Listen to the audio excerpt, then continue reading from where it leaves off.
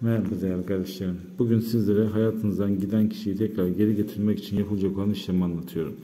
Bu işlem hayatınızdan giden kişiyi tekrar geri getirir ve size bağlanmasını sağlar. Bu görmüş olduğunuz kağıdın üzerinde isim, doğum tarihi ve anne ismi yazıyor. Bu kağıdı doldurun ve daha sonra telefonun ekran görüntüsü alın, bilgisayardan çıktısını alın ve evinizin etrafında bir yere toprağa gömün. Tek yapmanız gereken bu.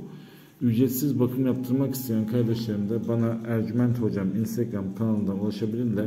Hocam ben de ücretsiz bakım yaptırmak istiyorum diye yazmanız yeterlidir.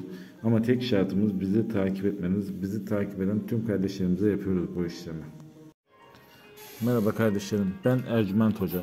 Bugün sizlere saç büyüsünü anlatacağım. Saç büyüsü sizin saçınızı alıp yapılan bir büyüdür. Bu büyü yapıldığında üzerinizdeki bütün her şey olumsuz gitmeye başlar. Bu tür bir şeye maruz kalıyorsanız nokta nokta koyduğum yerlere adınızı, doğum tarihini ve anne ismini yazın.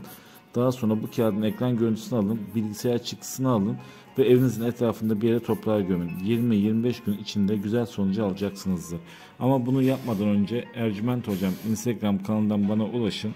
Hocam ben de ücretsiz yıldızlarma bakımı yaptırmak istiyorum diye yazın ve üzerinizdeki soruyu tam olarak çözerim.